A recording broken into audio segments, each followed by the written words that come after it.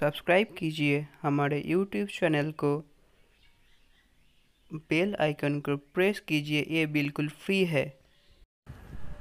Guys आज का हमारा टॉपिक है breeding of serpae tetra fish तो गाइस इस वीडियो में मैं आपको पूरा जानकारी दूँगा कि आप कैसे सर्फे टेट्रा फ़िश को ब्रीड कर सकते हैं अपने ही घर पे और इजीली मैं आपको सबसे इजीएस्ट वे बताऊँगा और ये हंड्रेड परसेंट वर्किंग है।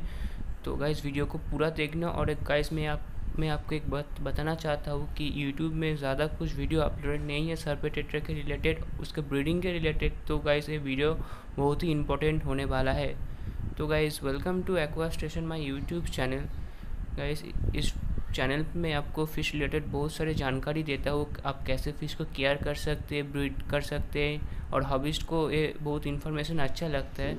तो guys serpae tetra are easy to breed make an excellent choice for a hobbyist third level breeding experience मतलब ये जो फ़िश है ना, वो एक देता है और ये एक्सीलेंट चॉइस है फॉर बिगिनर हॉबिस्ट के लिए, लेकिन इसका ब्रीडिंग टाइप थोड़ा सा डिफ़िकल्ट सो गाइस मैं रिकमेंड करता हूँ, जो नया हॉबिस्ट है और नया ब्रीडर्स है, वो लाइव ब्रीडर फ़िश के साथ फ़र्स्ट अपना ब्रीडिंग करियर स्टार्ट करिए मतलब गप्पीस के साथ, उसके बाद सेकेंड लेवल सेकेंड लेवल जो है जेबरा डैनियस उसके बाद आप ट्राई करना रेड सर्पेटेट्रा और टाइगर बाब ऐसे फ़िश को ट्राई करना। तो गाइज़ अनलाइक लेवल वन और two where you just put together they breed मतलब आप मतलब आप गप्पी और जेबरा को ऐसे ही छोड़ देंगे तो इजीली ब्रीड कर सकते हैं। लेकिन सर्वटेटर थोड़ा सा हार्ड है, इसको आपको थोड़ा सा एफर्ट देना पड़ेगा ब्रीड करने के लिए। तो ये थोड़ा सा डिफ़िकल्ट होने वाला है जो मतलब जो फ़र्स्ट टाइम ब्रीड करना चाहता है फ़िश को, उस, उन उन लोगों के लिए ये बहुत सारे मतलब डिफ़िकल्ट फेस करना पड़ेगा।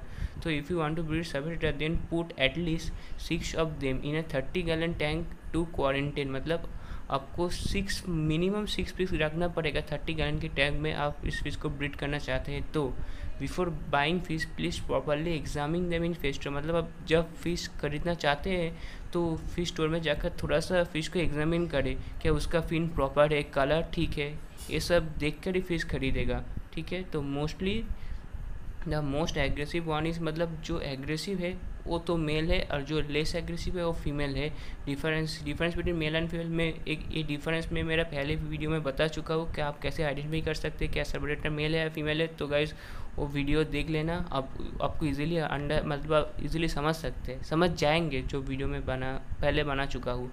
तो will notice that at least two seem to be interested in one one another. मतलब अब जो आप जब सिक्स पीस रखेंगे टैंक पे तो आपको आप देख मतलब आप देख सकते हैं, देख सकेंगे कि दो फ़िश आपस में पेयरिंग कर रहा है। तो आप समझ जाना, वो फ़िश पेयरिंग करने ब्रीड करने के लिए रेडी है और पेयरिंग भी हो चुका है उन लोगों का। तो आप उन फ़िश को सिलेक्ट करिए।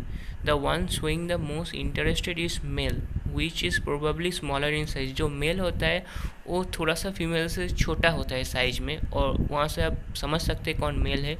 और if you have several smaller one showing interest select the best of the slimmer and more colorful one showing the मतलब जो फ़िश कलरफुल एंड एक्टिव है, आप वही मेल को चूज़ कीजिए।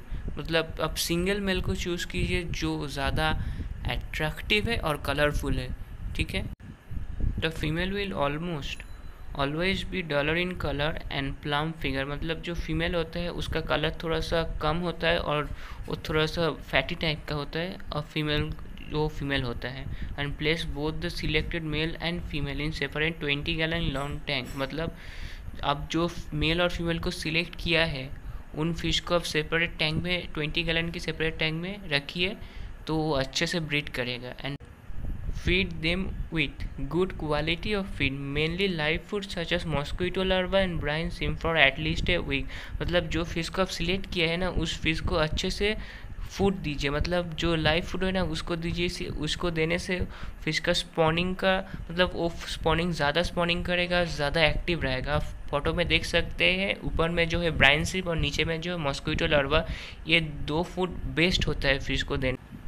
जैसे कि live feed will increase their capacity of spawning मतलब आप जित मतलब आप जो लाइव फ़ीड दे रहे हैं ना, वो उसका इंक्रीज कर देगा कैपेसिटी ऑफ़ स्पॉनिंग को। मतलब ब्रीडिंग के टाइम ये हेल्प करेगा live feed change 25 percent water per week which will balance the ammonia level मतलब आपको हर हफ़्ते twenty five percent water change करना पड़ेगा, जो मतलब एमोनिया लेवल को बैलेंस कर देता है। जब वाटर चेंज करेंगे फ्रेश वाटर डालेंगे तो फ्रेश फ़िश तो हेल्दी भी रहेंगे और इसका एमोनिया लेवल को बैलेंस कर देगा। Sponge filter will make the water condition optimum optimal and sponge filter is best during breeding than any other filter such as top filter और इंटरनल फ़िल्टर मतलब जो स्पॉन्ज फ़िल्टर होता है ना, वो बेस्ट होता है ब्रीडिंग के टाइम क्यों इसका जो रीज़न है, मैं आपको बताना चाह रहा हूँ, वो है sponge filter will initiate the growth of good bacteria, which will help in fertilization of एक मतलब स्पॉन्ज फ़िल्टर वो इनिशिएट करता है मतलब जो गुड बैक्टीरिया होता है ना, उसका ग्रोथ को फास्टर कर देता है स्पॉन्ज फ़िल्टर और फर्टिलाइजेशन के टाइम में ये हेल्प होता है। And give live plant to the breeding tank the female will release the egg on the leaves of the plant so it is essential मतलब अब अब जो ब्रीडिंग टैंक है ना, उसमें लाइफ प्लान मतलब देना ही पड़ेगा आपको लाइफ प्लान क्योंकि जो फीमेल होता है, वो अपना एक लाइफ प्लान के लिप्स पे ही रिलीज़ करता है तो आपको लाइफ प्लान देना ही पड़ेगा। And temperature 22 to to twenty twenty two to twenty six degree centigrade water P H five point zero to seven point eight which is ideal मतलब आप ये ये जो फ़िश होता है ना ठंडी के टाइम में बीट करता है तो आपको टेम्परेचर 22 टू 26 डिग्री टेम्परेचर ही रखना पड़ेगा। And female will lay their lay her egg approx two three to five days later then transfer the female to the other tank because she can try to eat her own eggs due to stress मतलब female जब अंडा दे देगा ना, उसको, उस female को आपको transfer करना पड़ेगा एक दूसरे टैंक में, क्योंकि वो ट्रेस होता है ना तो वो अपने एक को खाने के लिए ट्राई करेगा तो चेंज करना पड़ेगा। And after three day three day eggs will be hatched then transfer the male also मतलब आफ्टर थ्री डे मतलब तीन दिन के बाद जब जब जब एक हैच हो जाएगा तो आपको मेल को भी ट्रांसफ़र करना पड़ेगा। And give brine shrimp or crushed pellets to the fry and also put natural plants through the tank मतलब जो फ्राई है ना, वो तो उस, उनको उस फ्राई को डपनिया दीजिए ब्राइन श्रिम दीजिए और क्रश प्लेट दीजिए। ब्राइन सिर्फ़ आपको ऑनलाइन में मिल जाएगा और नेचुरल प्लांट तो देना ही पड़ेगा आपको। वो नेचुरल ऑक्सीजन देता है। मतलब जो वाटर है ना, उसमें ऑक्सीजन सप्लाई देता है। And provide low power light to the tank because fry can not tolerate bright light मतलब आपको टैंक में थोड़ा सा लो लाइट देना पड़ेगा। बिकॉज़ ब्राइट लाइट मतलब जो फ्राई होता है ना, वो बर्दाश्त नहीं कर पाता है ब्राइट लाइट को तो आपको मतलब लो लाइट देना पड़ेगा। And change thirty percent of the water per week because it will decrease the mortality rate मतलब आपको thirty thirty percent water change करना पड़ेगा हर हफ़्ते बिकॉज़ ये मोर्टेलिटी रेट को डिक्रीज करेगा। जो फ्राइज है ना, वो कब मरेगा, आप वाटर चेंज करेंगे तो। And after two months if the is large enough then you can transfer it to the community tank मतलब दो मंथ के बाद जब फ्राई लार्ज हो जाएगा तो आप इस फ्राई को कम्युनिटी टैंक में छोड़ सकते हैं। तो गाइस आज के लिए वीडियो ही इतना ही।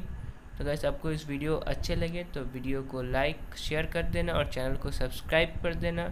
तो गैस मिलते हैं नेक्स्ट वीडियो में। आज के लिए, tata bye bye take care